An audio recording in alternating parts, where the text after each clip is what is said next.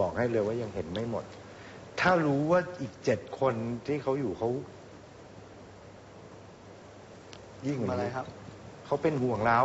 ผมเข้ามาบ้านให้เจ็ดคนเขาเป็นห่วงเรา เข้ามาได้ไหมคน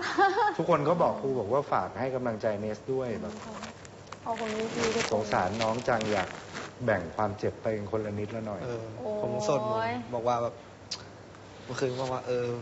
ถ้าผมอย่างเช่นโซ่เป็นเงี้ยแทนได้อะเออ ผมก็อยากเป็นแทน เมื่อคืนผมก็บอกกับพับว่า อืม ผมขอเป็นแทนได้ไหมเพราะว่าเออเห็นเนสเศร้าอะไรอย่างเงี้ยครูอืม ไม่ใช่ครูผมรู้สึกว่า อืมโซ่ประกอบมันทำได้อะเนสเหมือนแบบผู้หญิงเจ็บอะครู อืม มันก็มันผมรู้มันมันต้องเจ็บมากกว่าผู้ชายอยู่แล้วอะอืม ผู้ชายมันอดทนกว่า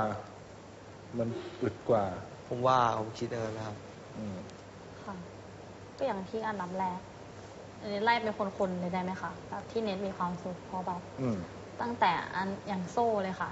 อย่างเช่นโนอย่างนี้โซ่ก็เขาตั้งตั้งแต่เขาเปลี่ยนทัศนคติเขาก็เริ่มมาดูแลผู้หญิงกับการทำกับข้าวใช่ไหมคะยิ่งพอเน็ตเป็นอย่างเงี้ยก็คือโซ่เป็นเพื่อนที่ดีมากเขาจะแบบเขารักเพื่อนมากจริงๆค่ะครูก็เห็น เขาจะดูแลทุกอย่างแบบเวลาทำอะไรเงี้ยเขาจะแบบคอยเอ้ยเน็ตรุ่นอย่างนี้นะกับข้าวกับ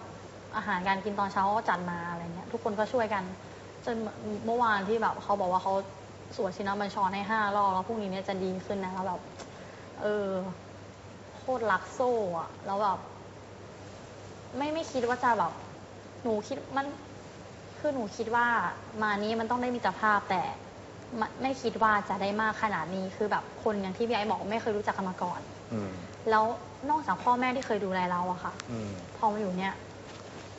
มีคนเขามาดูแล